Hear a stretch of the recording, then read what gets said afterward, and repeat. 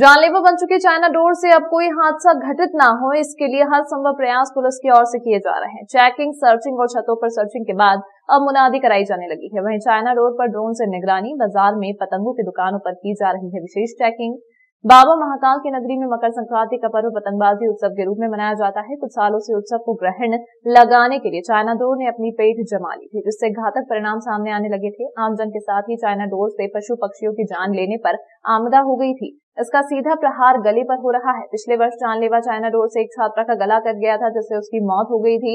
इस बार प्रशासन में किसी की जान न जाए और कोई घटना न हो, इसको लेकर एक दिसंबर को ही डोर प्रतिबंध करने के आदेश जारी कर दिए थे। उज्जैन ज़िले में चाइना डोर के क्रय विक्रय व उपयोग पर पूरी तरह प्रतिबंध लगा हुआ है। यहाँ चाइना डोर की बिक्री करते हुए दो व्यापारी रंगे हाथों पकड़ाए थे। पुलिस प्रशासन की टीम ने दोनों व्यापारियों के मकान तोड़ दिए हैं। यहाँ पिछले तीन दिनों में एक बच्ची और एक युवक का चाइना डोर से गला कटा है। वहीं पुलिस प्रशासन ने अब सख्ती कर दी है। फ्रीगंज क्षेत्र में ड्रोन कैमरे की मदद से निगरानी रखी जा रही है। इसके साथ ही दुकानों पर सेंसरिंग जारी है।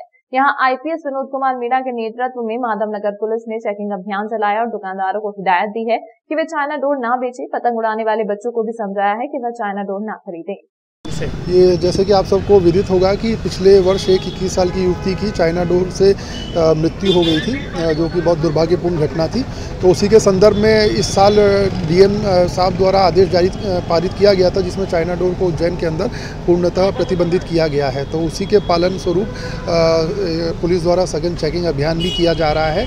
साथ ही साथ हमने पिछले कुछ वर्षों पिछले कुछ दिनों में जो, चाइना डोर के क्रय और विक्रय में व्यापारी सम्मिलित थे उनके खिलाफ मकान तोड़ने की कार्रवाई भी की थी और ये कार्रवाई आगे भी अगर कोई अपने आप को इस तरीके की गतिविधियों में संलिप्त करता है तो उनके खिलाफ आगे भी ये कार्रवाई चलती रहेगी।